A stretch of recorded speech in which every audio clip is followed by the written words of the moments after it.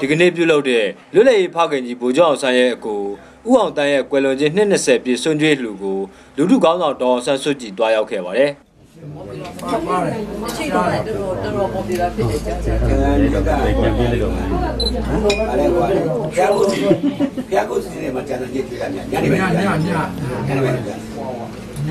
ညညအစားချင် အဲ့ဒါလေးလေအချိန်တော့ကြာကြာနဲ့အရင်ပေါ်ပြဖြစ်တာကျမ်းမကန်ဒီစွန့်ကြွေးလှူကိုရန်ကုန်မြို့ရန်ကင်းမြို့နယ်ကကျန်ရည်သူမိသားစုတွေရဲ့နေအိမ်မှာမနက်7:00နာရီကနေနေ့လယ်7:00နာရီအထိပြုလုပ်ခဲ့တာဖြစ်ပါတယ်ဒီလူပွဲကိုလူထုကောင်းဆောင်ဒေါ်အောင်ဆန်းစုကြည်ပါဝင် NLD ဒုဥက္ကဋ္ဌဦးတင်ဦးဦးဝင်းထေကိုဖြိုးမင်းသိန်းနဲ့ NLD အဖွဲ့ဝင်တွေနိုင်ငံရေးနယ်ပယ်ကသူတွေလည်းတက်ရောက်လာခဲ့ကြပါတယ်မတော်တွေကပြောတယ်ဘောသူတို့တခြားတော့ဒေါ်သား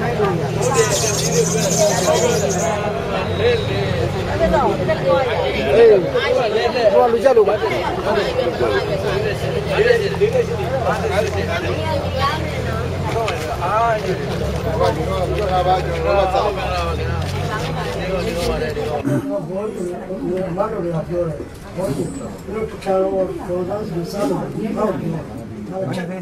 ပြီးခဲ့တဲ့2010ခုနှစ်ဥအောင်တန်းရဲ့ကွယ်လွန်ခြင်း19နှစ်ပြည့်စွန့်ကြွေးလှူတုံးကလည်းလူလူကောင်းဆောင်ဒေါ်အောင်ဆန်းစုကြည်ဟာသူ့ရဲ့တားငယ်ကိုထိန်လင်းနဲ့အတူတွားရောက်ခဲ့ပါသေးတယ်။ဗိုလ်ချုပ်အောင်ဆန်းရဲ့ကိုဥအောင်တန်းဟာ1992ခုနှစ်မှာကွယ်လွန်ခဲ့တာဖြစ်ပြီးသူကွယ်လွန်ချိန်မှာအသက်82နှစ်ရှိပြီဖြစ်ပါတယ်ခင်ဗျာ။